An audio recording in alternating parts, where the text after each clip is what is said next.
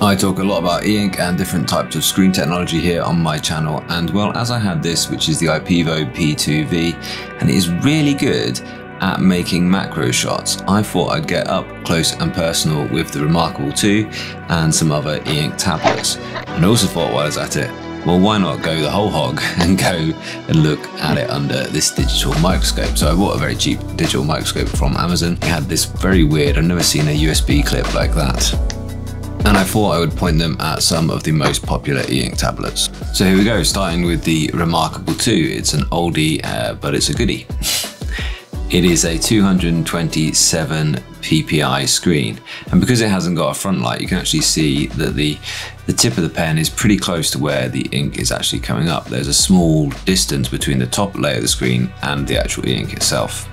So what you can see here is actually you can see the very top layer of the screen, not the ink. That bumpy surface is actually the paper feeling top surface of the screen essentially. And it's quite difficult to get it to focus on the actual ink capsules behind that. But because there isn't a front light layer, it is close enough to the top of the screen, and now we're in even closer zoom, that you can actually make out the individual kind of round blobs of the e-ink capsules and you can also see that grid there.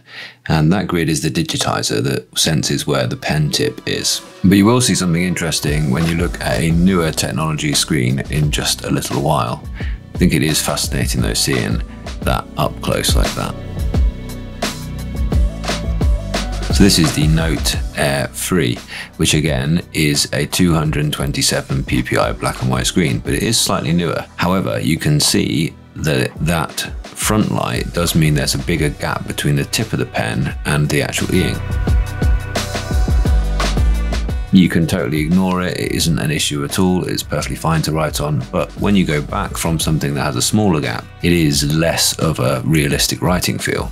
For each of these shots, you've got two different zoom levels. So this is 40 times zoom and now down at a thousand times zoom. And again, you can see that paper like texture on the top, this kind of rough texture. It's quite a different sort of texture to the Remarkable. And when you zoom in on this, I found it impossible to actually get focused on either the digitizer or the actual e-ink capsules. And that's because the gap between the very top surface of the screen and those two elements, the digitizer and the e-ink capsules, is greater. So it's outside the field of focus of the lens.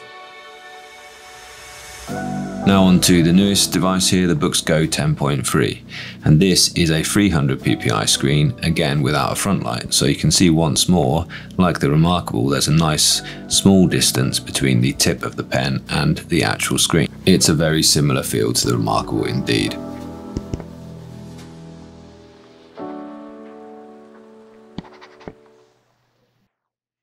And now you can again see at 40 times zoom, you can see that top surface, but you can actually see the digitizer is slightly higher up. And that is because it is within the layer of the screen, along with the e-ink capsules. There is actually overall less of a screen depth. Again, this time you can see in some of these shots, you can actually see the small round circles of the actual e-ink capsules but you can see they're blurred, they're obscured by the lumpy top layer of the screen.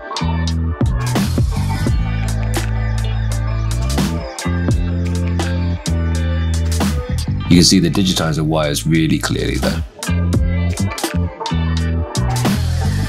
So with this one, I actually asked it to play a little video. So here it is zoomed right in at a thousand times zoom and looking at a video. You can see the e-ink screen refreshing. I think this was on A2 mode, which is the reasonably fast, not super fast and not the full screen refresh, normal modes.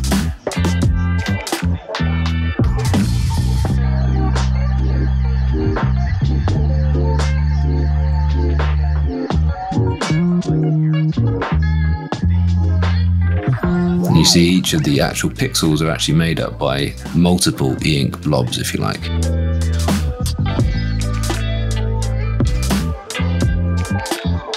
And so no two pixels are perfectly the exact same shape. It's fascinating, really.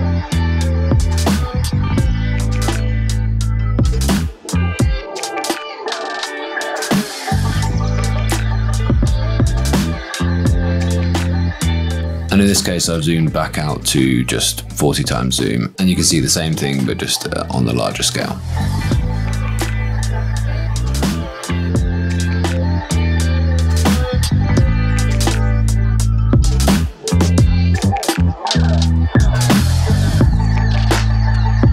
So next is Color E-Ink and this is the Boox Tab Ultra C Pro.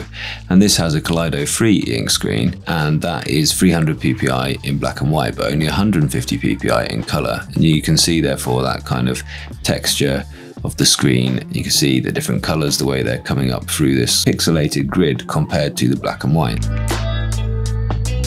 And just did a full screen refresh there to show you what that looks like once it's at its best quality. And here you can see this RGB layer is actually printed on the screen. Rather than it being individual cyan, magenta, yellow and black pixels like capsules of e-ink, it is actually a colored grid that when it wants to display white, well, it just is has the e-ink behind it on white mode, and so you're getting all of those three colors. They're mixed together to make white, therefore. And when it wants to display black, well, behind it you get black, and so it re doesn't reflect much light. Again, though, this does have a front light, and so it was hard to really focus in on those pixels. And you can see the pixels actually are always a little bit blurry because they're out of the focal field of the lens.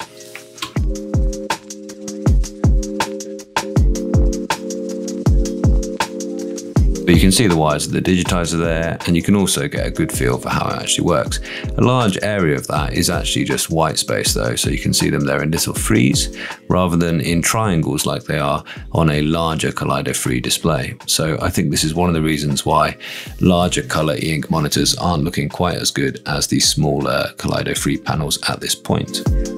Hopefully though you can see why even when it's white it's never quite achieving as white a background as a black and white ink screen and that's why you're almost always having to run a front light with a colour e-ink screen. Again though that front light meant that I couldn't really get focused on the actual e-ink capsules beneath and also at times you get a glimpse of the top layer of this surface on the Tab Ultra C Pro and it is less of a grippy, less frictiony of a top surface.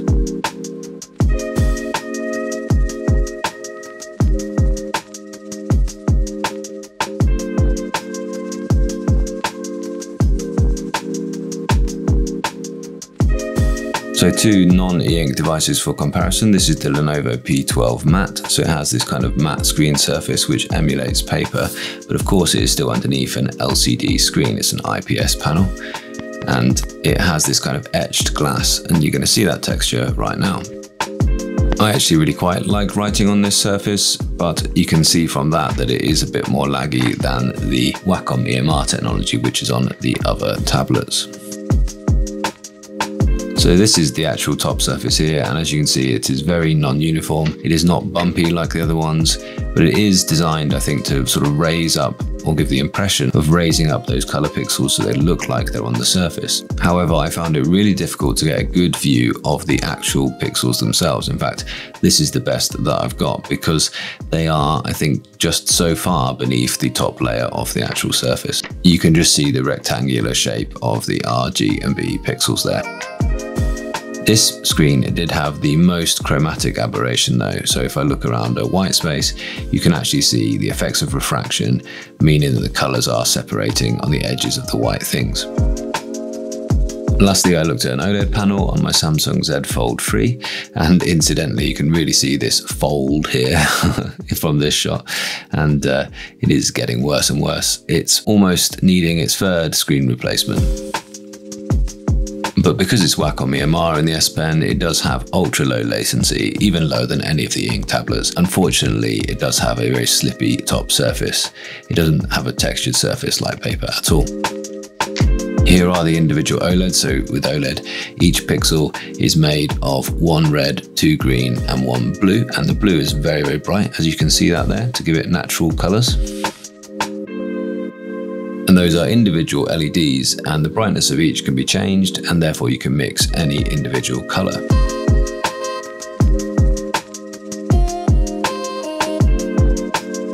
Why do you need two greens to every one red and one blue? Well, the reason is because that is the peak of our sun's visual spectrum. So all of the kind of natural colors around us generally have more green in them or higher intensity around those wavelengths than the red and the blue. But the blue light is actually the higher energy light because it's the higher energy end of the spectrum. And blue is often blamed for eye problems. You can see the brightness is changing here as I actually flick through some photos. And if you're wondering what you're looking at, those are blades of grass. Cheers.